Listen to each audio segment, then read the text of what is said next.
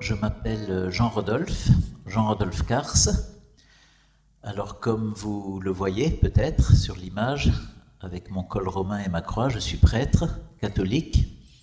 Je fais partie d'une communauté nouvelle qui s'appelle la communauté de l'Emmanuel, qui, qui fait partie donc de ce qu'on appelle les communautés nouvelles nées après le Concile euh, Vatican II, dans la mouvance du renouveau. Alors, on me demande un peu mon témoignage, surtout autour de la question comment j'ai reçu la vocation? Qu'est-ce qui m'a amené finalement à devenir prêtre, à répondre à l'appel de Dieu, à l'appel du Seigneur, qui m'a donc appelé à sa suite dans son Église? Alors, il est vrai que mon histoire est assez euh, atypique dans un certain sens. Je suis né d'une famille juive, de parents autrichiens, viennois. Mes deux parents n'étaient absolument pas pratiquants. Donc j'ai grandi dans une totale ignorance religieuse et indifférence religieuse. Donc il n'y a pas eu d'éducation juive dans ma famille. J'ai une sœur qui, elle, est devenue catholique bien avant moi. Et moi-même, donc, euh, nous nous sommes établis en France. Je vis en France depuis l'âge de 1 an. Et j'ai commencé le piano à l'âge de 7 ans. Et à l'âge de 20 ans, j'ai commencé une carrière de pianiste concertiste qui me prenait vraiment toutes mes énergies, toute ma vie. C'était ma vie tout entière. Je ne connaissais pas Dieu. La musique avait vraiment pris, je dirais, toute la place de Dieu, objectivement. Et donc, à partir de 20 ans, j'ai mené une carrière de pianiste concertiste avec des voyages, des tournées, des récitals, des émissions, des enregistrements de toutes sortes. À l'âge de 29 ans, la carrière marchait très bien, mais il faut dire que j'étais dans une situation personnelle que je ne vais pas décrire ici, mais qui était devenue inextricablement difficile, voire dramatique, une situation même euh, vraiment à risque, disons. Et je n'arrivais pas à m'en sortir.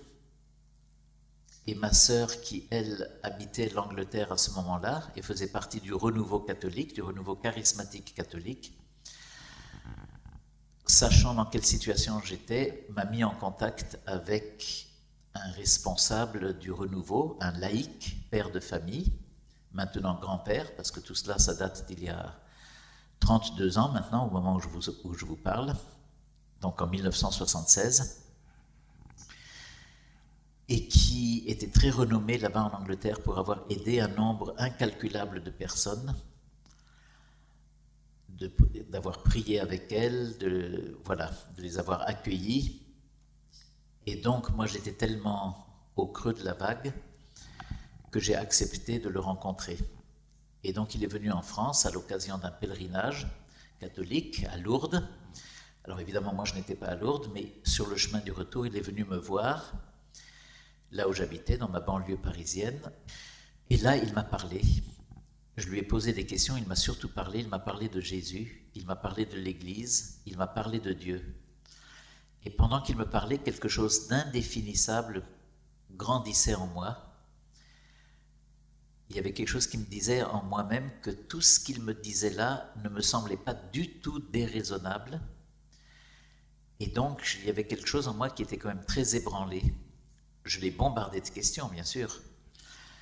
Euh, je n'allais pas lâcher prise si facilement. J'ai commencé à lui poser toutes les questions habituelles, les poncifs, on appelle ça des poncifs habituels sur l'Église, euh, sur tout ce que je croyais savoir de l'Église toutes les images, les clichés, l'Église du côté des puissants, l'Église et la politique, l'Église et l'antisémitisme, etc.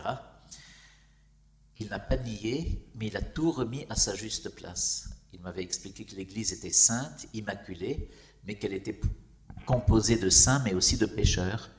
Et à cause de, cet état de fait, il y a pu y avoir des moments extrêmement sombres de l'histoire de l'Église, mais que cela n'enlevait en rien sa vocation, la vocation qui lui a été donnée vraiment par le Christ, donc d'être éducatrice de la foi éducatrice des peuples. Alors donc l'après-midi s'est passé comme ça, en dialogue, en conversation, en questions, réponses, en différents éclairages. Puis la nuit est venue, et puis pendant la nuit, donc, alors que j'étais dans mon lit, là j'ai fait une expérience tout à fait imprévue de Dieu, à un moment où je priais intérieurement parce que j'étais dans une grande angoisse intérieure quand même. J'étais, il y avait d'abord cette situation, puis tout ce que j'avais entendu m'avait quand même beaucoup ébranlé. Et dans le silence de mon cœur, j'ai prié à Dieu, j'ai prié Dieu de se manifester à moi si vraiment il existait. Et si tout ce que j'avais entendu l'après-midi précédente était vrai. Donc je lui ai demandé de se manifester à moi. À peine j'avais fait cette prière que il a fait irruption dans mon cœur et ça, évidemment, je ne peux pas le décrire. Ça ne se décrit pas. J'ai senti une très grande douceur, une paix, une lumière, une légèreté, comme un voile. Je me suis endormi dans la paix et je me suis réveillé le lendemain croyant et même priant, convaincu d'une certitude qui ne m'a jamais quitté un seul instant jusqu'à aujourd'hui, convaincu que cette nuit, donc de juin 1976, Dieu était entré dans ma vie profondément. Alors ma vie a été chamboulée, c'est ce jour-là qu'elle a basculé. Un monde nouveau était né pour moi, le monde de la foi, le monde de l'invisible, le monde des certitudes, des réalités que l'Église enseigne. Pas n'importe quelle foi, ce n'était pas une expérience spirituelle vague ou exaltée ou extatique ou faussement extatique. Non, c'était profondément la cohérence, l'intelligence surnaturel de la foi chrétienne et qui ne peut venir que par une grâce de Dieu. La situation que j'ai évoquée, sans la décrire, s'est dénouée les jours qui ont suivi, les semaines qui ont suivi, et là encore de façon plutôt surnaturelle, alors qu'il n'y avait pas d'issue humaine pour sortir de cette situation, les obstacles sont tombés les uns après les autres. Et vraiment, j'ai vu donc l'œuvre du Seigneur avec puissance, sa puissance être vraiment à l'œuvre. Donc, tout cela, ça s'est passé alors que j'avais 29 ans, en 1976. Les semaines ont passé, j'ai continué à jouer, ma profession de pianiste continuait, et au mois de mars 1977, alors, j'ai eu une grande soif d'aller plus loin avec ma foi nouvelle. Je voulais vraiment approfondir, je voulais mieux connaître qui était Jésus, sa personne, son mystère. Je voulais vraiment avoir une relation avec lui, puisqu'il m'a sauvé. J'y croyais profondément. Et alors, je suis allé pour cela dans un monastère pendant huit jours, pour me retirer dans le silence, tout simplement. Je n'ai même pas rencontré spécialement des moines pour euh, parler. Non, j'étais dans le silence, je priais. Tous les jours, je priais le Seigneur qu'il vienne dans ma vie, qu'il me change. J'avais soif d'une vie nouvelle surtout. J'avais soif de devenir une créature nouvelle. J'avais soif d'être renouvelé à tout niveau. Et surtout de bien connaître Jésus, de l'intérieur, pas simplement d'une connaissance, euh, voilà. Et un jour, un 25 mars, qui est entre parenthèses le, le jour de l'Annonciation dans l'Église, la grande solennité de l'Annonciation dans l'Église catholique. Le 25 mars, il se trouve que j'ai assisté à la messe, comme ça, sans même l'avoir voulu. Je suis entré dans l'Église et c'était la fin de la messe. Et alors là, les moines sortaient en chantant. Il y avait de l'encens, un crucifix qui n'était pas particulièrement beau dans l'église, mais tout ce, ce matin-là me parlait. Je peux dire que ce matin-là, j'ai fait cette rencontre à laquelle j'aspirais. C'est comme si je sentais substantiellement la personne du Christ entrer dans ma vie, entrer dans mon cœur, poser des fondations nouvelles. Je me sentais devenir quelqu'un de nouveau. Et alors ce jour-là, ce jour-là, j'ai été pris d'un amour et d'une compréhension totale et intuitive pour l'Église catholique. Inutile de dire qu'avant ma conversion, bon, ben, je, l'Église ne m'intéressait absolument pas. J'avais certainement un regard un peu de, mépris même. D'ailleurs, j'évoluais dans un monde artistique qui très individualiste, avec des personnes parfois extraordinaires, c'est vrai, de grande valeur, mais disons le milieu ne portait absolument pas à la foi. Et les artistes par nature sont très individualistes, assoiffés de liberté et ne sont pas prêts du tout à reconnaître ou à accueillir les exigences simplement élémentaires, c'est ce que j'ai compris après, morales, que l'Église propose. Mais ce jour-là, dans ce monastère, j'étais pris d'un amour profond de l'Église catholique. J'ai compris que c'était dans l'Église catholique que je trouverais la plénitude de la foi, de la révélation. Dans l'Église catholique, je trouverais la plénitude des moyens du salut, c'est-à-dire les sacrements. Et je comprenais tout. J'ai compris la dévotion, la place de la Vierge Marie. Je savais ce que c'était qu'un prêtre. J'ai compris ce que c'était que la hiérarchie. Non pas une hiérarchie de domination, mais une hiérarchie de service et d'amour. Ce jour-là, j'étais pris d'une profonde affection spirituelle pour le pape. C'était encore Paul VI à l'époque. Bref, je crois que ce jour-là, je suis profondément devenu catholique dans l'âme. Et dans mon cœur, j'ai dit un oui sans réserve, sans réserve, à tout ce que l'Église catholique enseigne en matière dogmatique et morale. Et donc je suis rentré à Paris, après ce séjour dans ce monastère, plein de joie. J'ai rencontré un prêtre dans la basilique du Sacré-Cœur de Montmartre, on me l'avait recommandé, donc je suis allé le voir.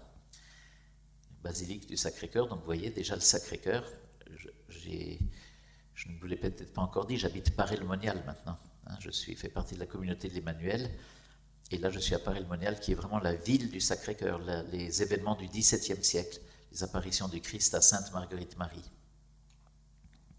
Mais donc tout ça, je, l'ignorais encore, mais donc le Seigneur m'avait conduit vers la basilique du Sacré-Cœur.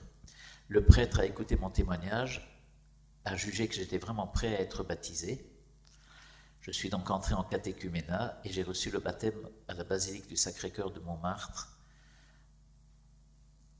en décembre 1977, juste avant Noël. J'avais 30 ans. Et quand je témoigne de ça, j'ai toujours l'habitude de dire que j'ai l'impression que ma vie a vraiment commencé à ce moment-là. Quand je regarde toute ma vie passée de musicien, avec ces moments bien sûr exaltants, très beaux, d'autres moments déprimants, parce que la vie d'artiste, ce n'est pas drôle tous les jours non plus, mais quand je regarde tout ce passé d'avant ma conversion, j'ai l'impression plutôt d'avoir survécu, plutôt que d'avoir vécu. Tandis que j'ai l'impression que ma vie a vraiment commencé comme une sorte, de fil, fil rouge, un sentier. Elle a vraiment commencé avec mon baptême.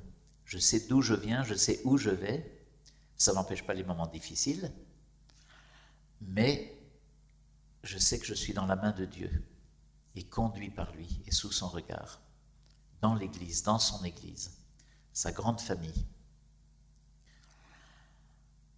Alors voilà, ça c'était donc l'événement de mon baptême. J'ai encore continué à donner des concerts, bien qu'à cette époque-là, j'avais considérablement diminué volontairement le nombre de mes engagements, c'est-à-dire que j'acceptais moins de concerts. il est vrai que ce n'était plus du tout ma priorité déjà j'étais pris intérieurement, vraiment dans, dans ma foi. J'avais soif de la parole de Dieu, j'avais soif de prière, mais je continuais quand même à jouer. Et puis on arrive en 1979, donc j'avais presque 32 ans. En février, je me retrouve dans l'église, il y a la messe, et puis après la messe, l'église se vide.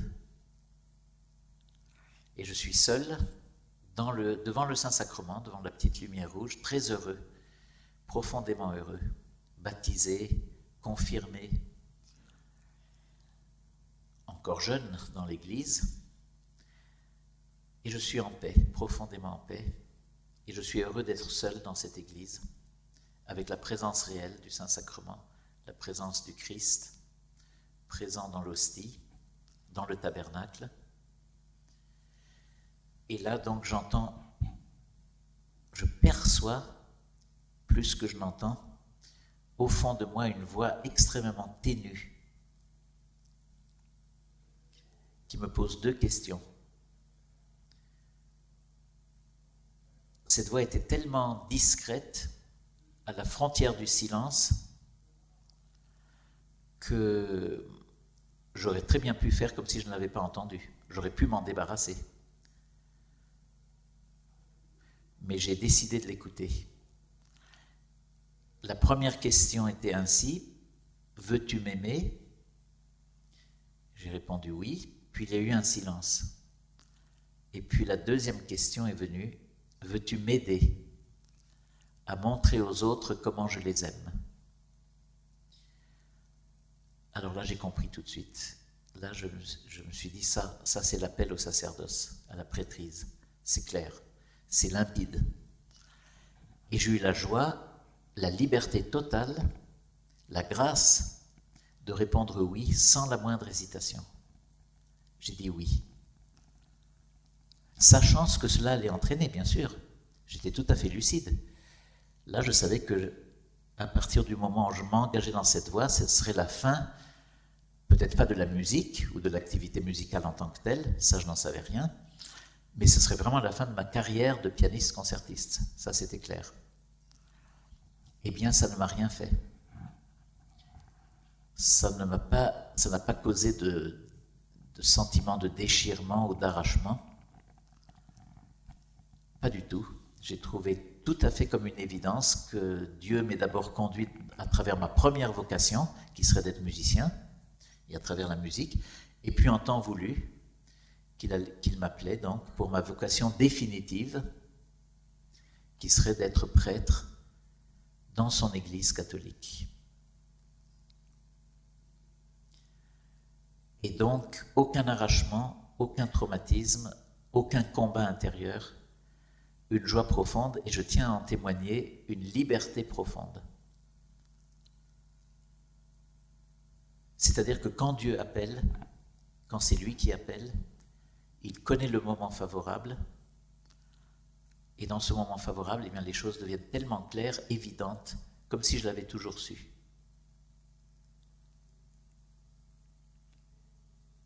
Donc voilà,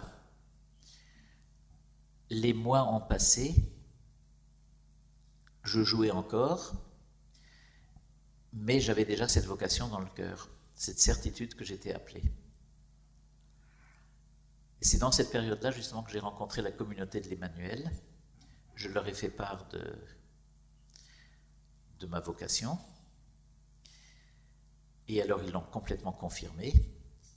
Et ils m'ont proposé d'entrer dans la communauté, tout simplement, en me disant, tout à fait à juste titre, que le type de conversion quand même très intense et très soudaine que j'ai vécu, tout cela avec une vie d'artiste quand même qui, qui remplissait un peu tout mon passé, donc quelque chose d'assez intense à tout niveau, nécessité que je sois entouré de gens qui me comprennent, qui comprendraient vraiment ce que j'ai vécu.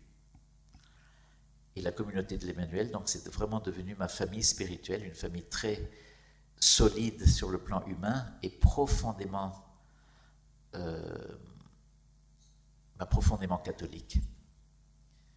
Un catholicisme renouvelé dans la ferveur vraiment du renouveau, dans l'après-concile Vatican II. Et donc c'est devenu ma famille, grâce à laquelle j'ai pu grandir dans la foi, dans l'espérance, dans la charité, et au sein de laquelle j'ai pu donc me former pour devenir prêtre, comme beaucoup. Et avec beaucoup de futurs prêtres de la communauté de l'Emmanuel, j'ai fait mes études donc de théologie. Et puis j'ai finalement été ordonné dans la ville où je suis aujourd'hui encore, à Paris-le-Monial, sanctuaire donc du Sacré-Cœur, ville de, la, de Sainte-Marguerite-Marie. Et donc j'étais ordonné en novembre 1986, donc dans quelques semaines, là ça va faire 24 euh, ans.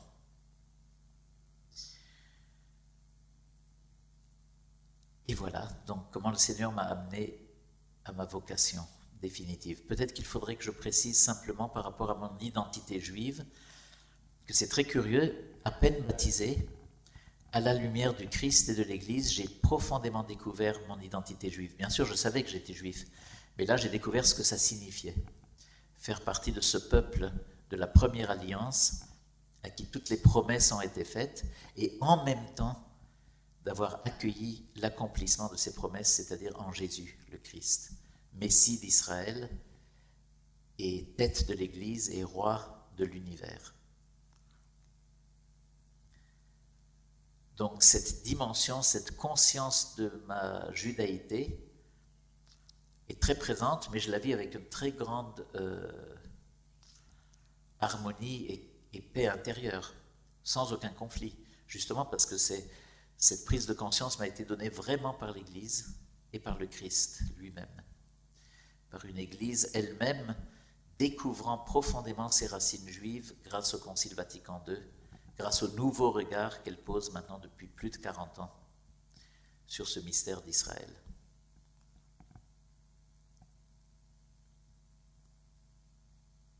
Alors, peut-être pour ceux que ça intéresserait, j'ai donné mon dernier concert euh, officiel en 1981, juste avant de commencer mes études de théologie. Ce n'était absolument pas dans un cadre prestigieux, non, c'était dans une obscure salle de la banlieue de Londres, et surtout personne ne le savait, sauf ma sœur et quelques amis. Donc c'était pas du tout, c'était un concert spectaculaire d'adieu, c'était tout à fait dans la discrétion. Moi je le savais. Et là encore, aucun arrachement, mais comme une évidence, entrer dans une étape nouvelle. Alors il se trouve que dans la Providence, donc je n'ai pas complètement abandonné la musique, j'aurais pu. Je, je l'ai même envisagé. Mais ce n'est pas comme ça que Dieu m'a conduit. Dans ma communauté, on m'a demandé d'entretenir et surtout de donner parfois des soirées où je témoigne et où je joue encore, et où je commente aussi les œuvres que je joue. Je leur donne une connotation spirituelle qui aide les gens à écouter et à prier. Donc ce sont des, j'appelle, ce ne sont plus des concerts, j'appelle ça offrande musicale ou veillée spirituelle et musicale. Je le fais encore avec un répertoire extrêmement restreint. Je ne peux plus que jouer maintenant les choses que j'ai jouées à la fin de ma carrière, donc à ce moment-là. Peut-être faut-il ajouter aussi, pour les experts un petit peu en musique, mais sans m'y attarder, qu'une influence absolument déterminante, mais dont je me suis aperçu seulement bien plus tard, après les événements dont je vous parle, a été ma rencontre avec la personne et surtout avec l'œuvre d'Olivier Messiaen, le grand compositeur français catholique, mort en 1992, un des plus grands compositeurs de tous les temps, et certainement le plus grand compositeur catholique en tant qu'ayant voulu exprimer les vérités de la foi catholique en musique de tous les temps. Olivier Messiaen, que j'ai rencontré en 1966, dix ans avant ma conversion, dont l'œuvre m'a immédiatement fasciné. Tout cet univers spirituel et sonore m'a immédiatement fasciné et passionné. Et donc j'ai compris après coup que le Seigneur faisait une sorte de catéchèse souterraine, sans que je m'en rende compte, à travers ma fréquentation de cette œuvre, parce que j'aimais énormément les commentaires aussi de Messiaen, où il explique ses sources d'inspiration bibliques, théologiques, liturgiques ou autres. De sorte que je considère maintenant Messiaen comme mon premier père spirituel, bien qu'à l'époque, ni lui ni moi n'en avions la moindre idée. J'ai eu l'occasion plus tard, après mon sacerdoce, parce que je l'ai revu, de lui en témoigner. Il était profondément touché de cela, bien sûr. Voilà. Mais ça, ça s'adresse peut-être plus aux musiciens qui connaissent le monde musical. Je ne voulais pas omettre de parler d'Olivier Messiaen comme influence déterminante, bien que souterraine au début, par rapport à mon cheminement. Quant à cet ami irlandais, père de famille, qui est venu me visiter et que j'ai ensuite revu très très très souvent, chaque fois que j'allais en Angleterre pour jouer, et qui m'a vraiment aidé, qui m'a éduqué dans la foi, qui a souvent prié avec moi, évidemment, je l'ai choisi comme parrain de baptême. Je bafouille un peu là, comme parrain de baptême. Et je le vois toujours. Je suis toujours en contact avec lui. Voilà, j'ai pu donner mon témoignage comme je le voulais, comme j'espère que ça correspond à ce que vous en attendez, et surtout pour rendre gloire à Dieu. Donc on me pose la question, qu'est-ce que je dirais à un jeune? D'abord, je dirais que chaque histoire personnelle est absolument unique. Donc on ne peut pas donner un conseil euh, général. Un jeune qui aurait peur de répondre à l'appel de Dieu, il faudrait d'abord savoir de quoi il a peur, pourquoi il a peur, quels sont ses conditionnements euh, psychologiques ou son environnement. Tout ça, c'est à prendre en compte. De toute façon, une attitude certainement dans laquelle vraiment on ne risque rien, et je suis bien placé pour le dire, puisque c'est comme ça que ma conversion a commencé, eh bien on se met en prière devant Dieu de préférence si un jeune a déjà la foi catholique et est déjà dans l'Église mais aurait peur de, répondre à l'appel de Dieu, vraiment de se mettre devant le Saint-Sacrement. Et pas pour voir Jésus. Euh, Jésus n'est pas, euh, pas là pour nous donner des oracles, pour nous dire euh, quel est notre avenir, etc. Jésus est d'abord là pour être notre ami parfait, notre frère aîné, notre Dieu, celui qui veut notre bonheur et puis lui dire simplement, voilà, lui dire nos craintes. D'abord nos doutes, c'est pas sûr qu'on en appelle non plus, parce que souvent on peut avoir cela en imagination. Alors on a des peurs qui sont tout à fait irraisonnées, on se dit, mon Dieu, si le Seigneur m'appelait, alors que ce n'est peut-être pas du tout le cas. Le Seigneur peut tout à fait appeler à la vocation du mariage, de la famille, et on en a besoin. Dans notre monde actuel, on a vraiment besoin de familles vraiment bien enracinées, solides aussi au niveau de la foi, avec le respect de la vie.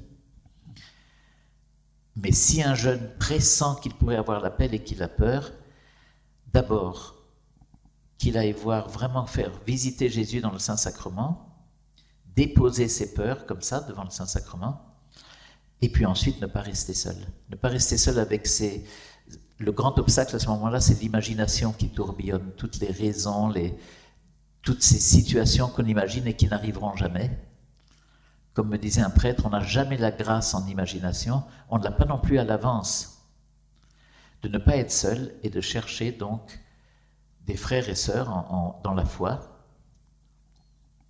si possible des communautés déjà bien reconnues par l'Église, solides, avec peut-être un père spirituel, avec la possibilité de prier, d'invoquer l'Esprit Saint, et puis de voir comment les choses se passent.